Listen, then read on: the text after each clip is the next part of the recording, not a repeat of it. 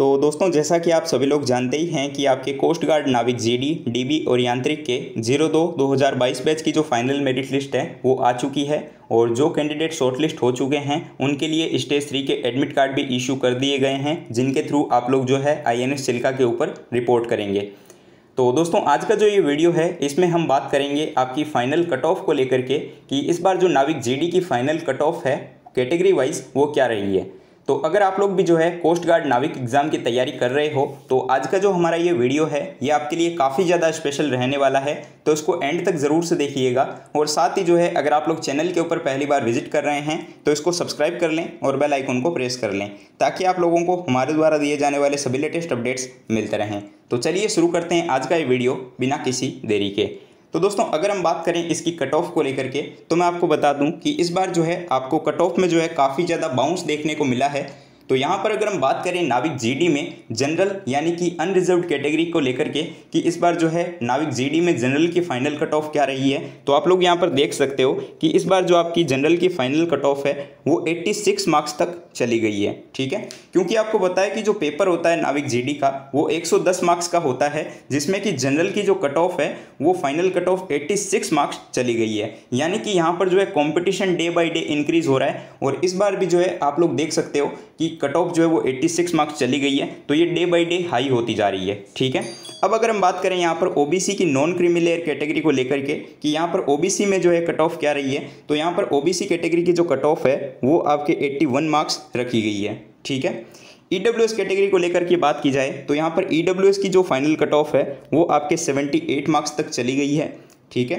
SC और ST की जो कट ऑफ़ है, वो पहले कम रहती थी, लेकिन यहाँ पर जो है, इस बार अगर देखा जाए तो एससी कैटेगरी की जो कट ऑफ़ है, वो 74 मार्क्स और साथ ही जो एसटी कैटेगरी है, इसकी जो कट ऑफ़ है, वो 70 मार्क्स तक चली गई है, ठीक है? इसके अलावा दोस्तों मैं आप लोगों को ये भी बता दूँ कि काफ़ी सारे कैंडिडेट्स जो है, वो स्टेज टू में डॉक्यूमेंट वेरिफिकेशन में रिजेक्ट हो गए थे, क्योंकि उनके पास में जो है प्रॉपर डॉक्यूमेंट्स नहीं थे। क्योंकि आप लोगों को पता है कि इंडियन कोस्ट गार्ड में जो है डॉक्यूमेंट वेरिफिकेशन एक बहुत बड़ा रोल प्ले करता है तो काफ़ी सारे कैंडिडेट्स जो है, वो सिर्फ़ और सिर्फ़ अपने कास्ट सर्टिफिकेट की वजह से रिजेक्ट हो गए थे, क्योंकि उनके पास में जो है सेंट्रल का वैलिड कास्ट सर्टिफिकेट नहीं था। क्योंकि काफ़ी सारे लोग क्या करते हैं कि एप्लीकेशन फॉर्म को फिलअप करते टाइम जो है स्टेट का जो कास्ट सर्टिफिकेट होता है, वो अप्लाई कर देते हैं। लेकिन आप लोगों को यहाँ पर क्लियरली मेंशन कर रखा है इंडियन कोस्ट गार्ड ने कि आपके पास में जो कास्ट सर्टिफिकेट होता है, वो सेंट्रल का कास्ट सर्टिफिकेट होना चाहिए। तो दोस्तों, अगर आप लोग जो है कोस्ट गार्ड एग्ज़ाम की तैयारी कर रहे हैं तो मैं बार बार आप लोगों को यही बोलना चाहूँगा कि आप लोग जो है अपने डॉक्यूमेंट्स को प्रिपेयर रखें, उसमें जो है किसी भी प्रकार की कोई भी जो गलती है, वो ना रखें, ठीक है? तो इस बार भी जो वैकेंसी है, वो बहुत ही जल्द आने वाली है। तो दोस्तों, अपने डॉक्यूमेंट्स को जो है तैयार रख लीजिए, क्योंकि जो है आप लोगों को बाद में टाइम नहीं मिल पाता है। ठीक है? तो यही था आज के इस वीडियो में। इसके साथ ही जो है दोस्तों, मैं आप लोगों को एक चीज़ और बताना चाहूँगा टेक्स्ट बुक के बारे में। दोस्तों, टेक्स्ट बुक पर जो है अभी गोल्डन गुड बाय सेल चल रही है, जिसका कि आज लास्ट डे रहने रहने वाला है।